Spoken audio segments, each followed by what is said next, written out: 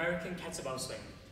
So the same style as the Russian swing, you're going to start off swinging through your hips, not through your quads. So when you swing, you dip back through your hips, drive your hips forwards, and then follow it on. So you're not squatting to swing, you're hip hinging with that swing. As soon as the bell goes up to your chin level, you're to start pulling up so the bell end faces up and then catch back down.